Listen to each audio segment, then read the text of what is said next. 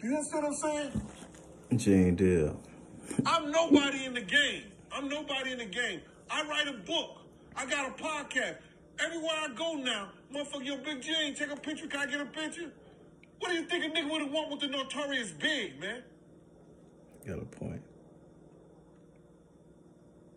Come on, man. This shit is this shit is asinine, bro. He got a point. Is it possible to... Man, I don't know, Gene. Well, I ain't gonna call him a liar because he obviously believe what he's saying, and and and most of that shit look true coming out of his lips. But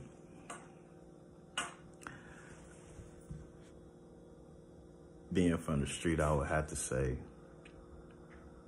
there's no way he got the whole story. It's no way possible. I would also have to agree it's no way possible anybody else really trying to find out what happened to Big. Hey, yo, DJ Vlad, why you don't do a deep dive on the notorious B.I.G.? We all know what happened to Pac with some street shit. But as the years go by, I don't think what happened to Big was some street shit. I just, I don't.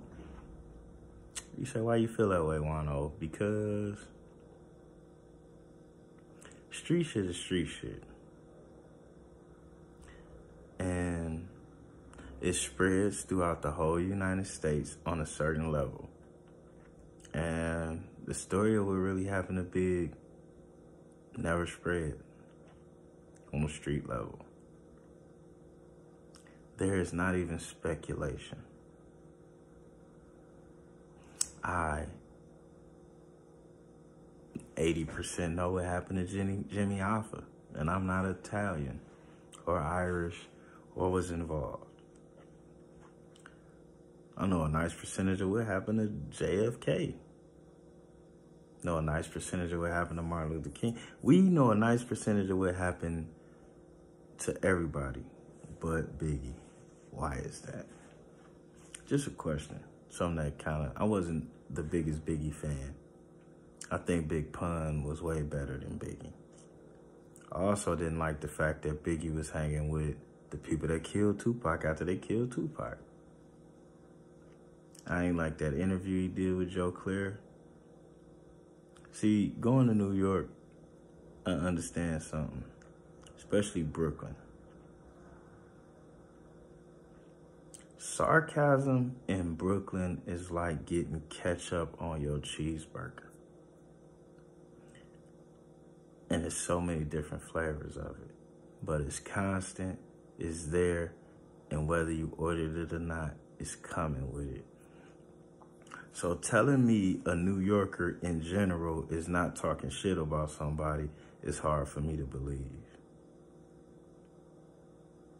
It really is they are masters with shooting at who they want to shoot at, how they want to shoot at them.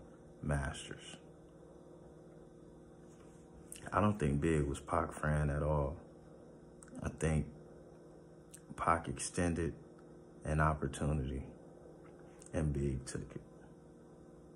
Not to say I think Big did him or meant him any harm, but I think Big was gone take every opportunity that came his way.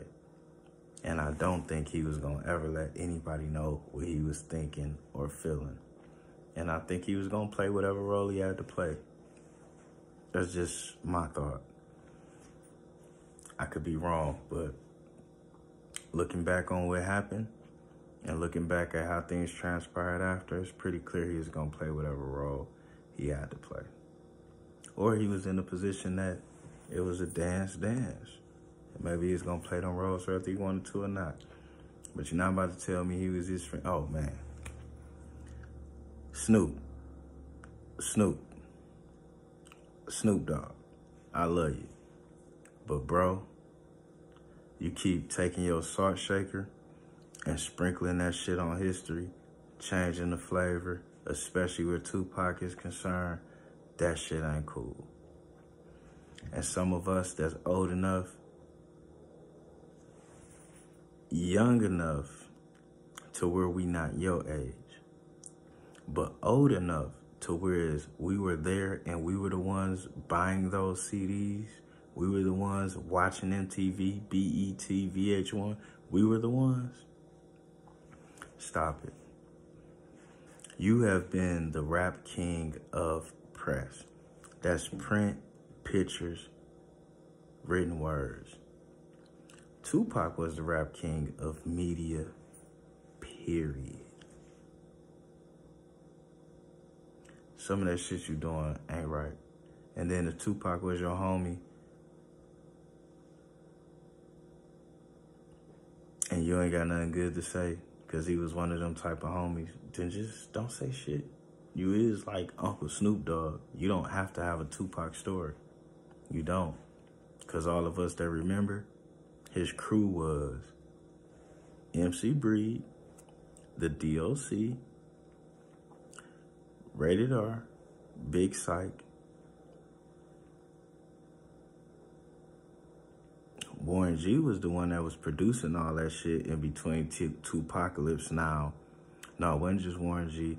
It was Warren G, Live Squad, and Easy Mo Bee.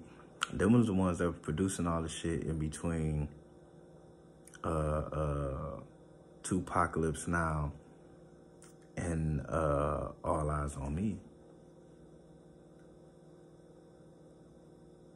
But y'all bloggers get on, y'all don't interview Warren G and ask him about Tupac. That's who saved him when Death Row left him. It was the songs he did with Tupac, got him on them soundtracks, got other shit going outside of Death Row. But y'all don't ask Warren G about Tupac. Y'all don't ask the DLC about Tupac. When you go back to MTV through 92 to 95, you is not going to see Tupac with Snoop Dogg ever. But you will see him several times with them people I just named. And everybody eating off Pac. Pac been dead all these years. Everybody's still eating off of him, being very disrespectful to his name. That shit need to stop. And this is why the others are doing better than us. Because you don't see the others speaking bad about their people who helped the other side during the uh, WW2. I said that the best way I could say that without getting kicked off. But believe this, it wasn't no regular person that told on Anne Frank. It was one of her kind of people. But you don't see her people telling our people that we want to hurt people that told on our ass, do you? Nope. The motherfuckers who found out which ones of them betrayed them took that shit to their grave. But we promote which ones of us get taken advantage of or are dumb enough to do stupid shit. We gotta stop it. Now, mop.